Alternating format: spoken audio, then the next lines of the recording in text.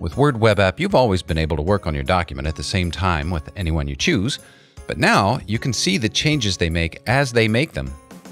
Here I can see Leslie adding a subtitle, and Glenn working on the first paragraph.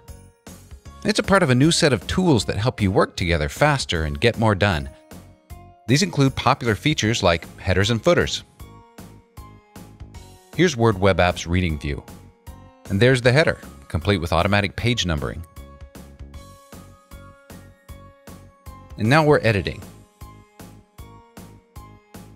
Word Web App gives you options for page numbers and for how headers and footers appear in your document.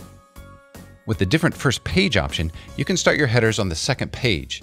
That way you can have a clean first page, but have headers appear on all the other pages. That's how this doc is set up with a big title page. The headers and page numbering starts on page 2. And with the new Word Web app, your tables never look better.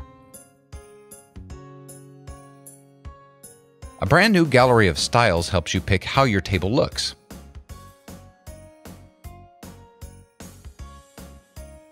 And just like Word on the desktop, Word Web App helps you quickly find what you're looking for. Select Find or Replace, and then enter a search term. The results appear next to your document in context. That way you can jump straight to what you're looking for.